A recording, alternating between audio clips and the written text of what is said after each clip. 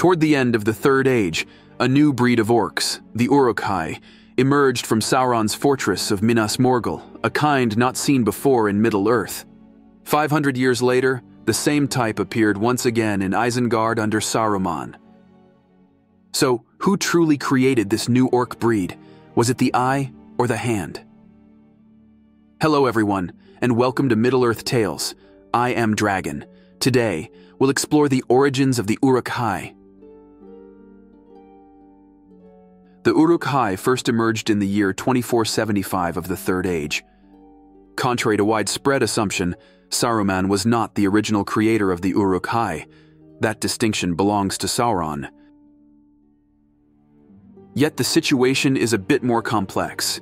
Indeed, Uruks were first seen in the armies of Mordor, but were Saruman's Uruks exactly the same as those initially observed?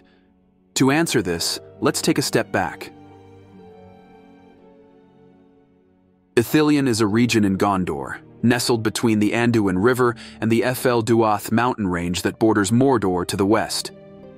When the Dunedain, fleeing from Numenor, arrived in Middle-earth in the Second Age, they settled in various locations, and Ithilien became the realm of Isildur.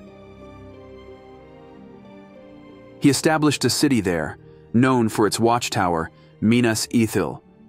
Being a frontier to Mordor, Ithilien was essentially Gondor's first line of defense against Mordor, making it a frequent target of attacks from Sauron's forces. Although Sauron had destroyed Numenor by rotting it from within, he had not forgotten the defeat they had inflicted on him in the Second Age. That is why he saw those people who had managed to escape from Numenor, who remained loyal to the Valar, as a threat. Especially with Isildur establishing a stronghold so close to his domain. It's no surprise, then, that one of the initial conflicts between Sauron and the Gondor erupted in Minas Ithil. Sauron swiftly captured the city with a powerful and rapid attack, and Isildur only managed to escape with his life. This event also proved that peace would not come to Gondor and Arnor until Sauron was destroyed. Thus, a final alliance between men and elves, who had battled Sauron throughout history, was formed. Following the alliance's victory over Sauron, Minas Ithil was reclaimed by Gondor, though it never returned to its erstwhile glory. After a period of absence, Sauron secretly returned to Middle-earth, still diminished, but having his minions advance his agenda. By the Third Age year 2000, following Arnor's complete collapse, Sauron directed his full onslaught towards Gondor, with Minas Ithil being his initial target due to its proximity to Mordor. Despite its weakened state, the city held out against Mordor's siege for two years, but was ultimately overtaken by the Witch King in 2002. After its capture, the city underwent rapid transformation to become the main stronghold of the Witch King, where all manners of dark arts were practiced. The tower, which had lent the city its original name, was henceforth called Minas Morgul, the Tower of Dark Sorcery.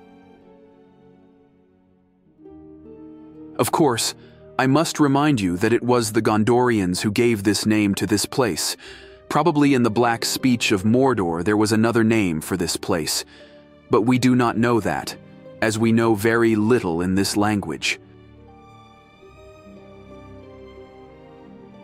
I explained this in detail because Minas Morgul holds significance as the place where Uruk-hai first emerged.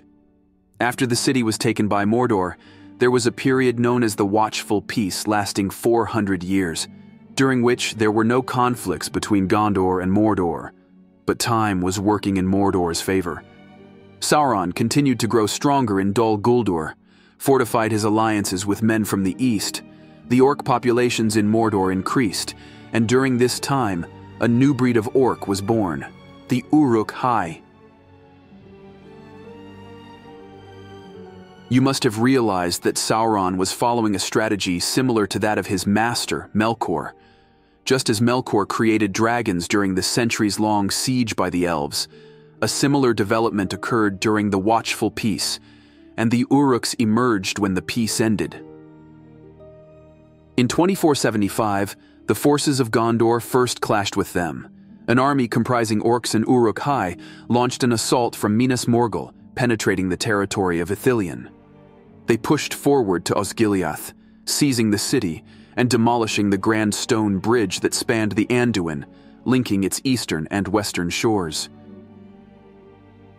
Boromir I, however, later succeeded in a counteroffensive that recaptured Osgiliath and reclaimed portions of Ithilien. In this initial confrontation, the Uruk-hai demonstrated their prowess as formidable enemies. We don't have definitive evidence on how Uruk-hai were created. Like Melkor, Sauron didn't have the ability to create new beings from scratch.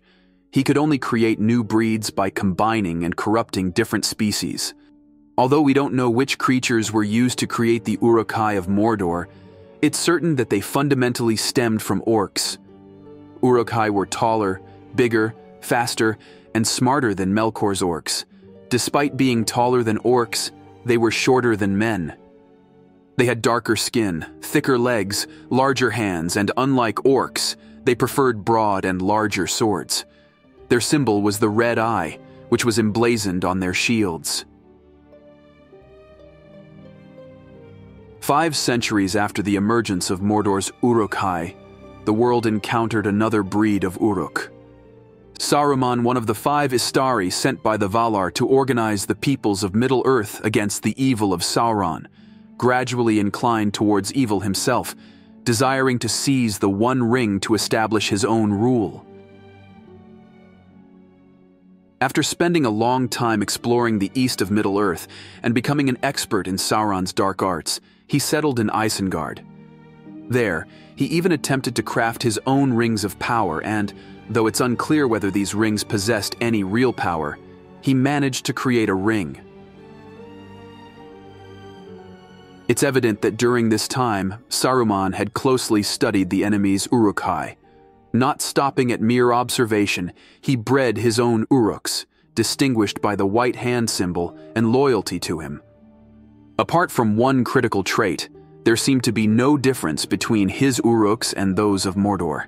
This crucial feature was that Saruman's Uruk-hai, although not fond of sunlight, could withstand it and march under the sun, for which there is no evidence that Mordor's Uruk-hai could do the same. Like Sauron, we don't know exactly how Saruman created his own Uruk-hai, but we're not completely in the dark this time. Treebeard from Fangorn Forest hinted that the Uruk-hai of the White Hand could be a mix of men and orcs. Indeed, Saruman commanded not just orcs, but also the wild men of Dunland. It's possible he used these humans in the creation of his Uruk-hai, which might explain why his Uruks could move under the sun. Returning to our question, were the Uruk-hai created by Sauron? or Saruman. It's clear that the bulk of the creation was done by Sauron, but Saruman also advanced this creation further.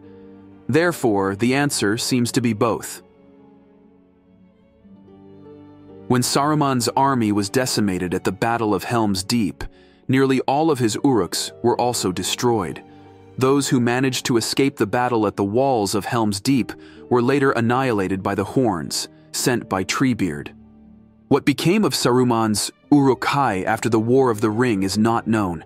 There might have been survivors from Isengard who escaped during the attack by the Ents, and they may have joined the other survivors over time. A few weeks ago, I shared my thoughts on what could have happened to the orcs in the Fourth Age, and those interested can check out that video for more insights.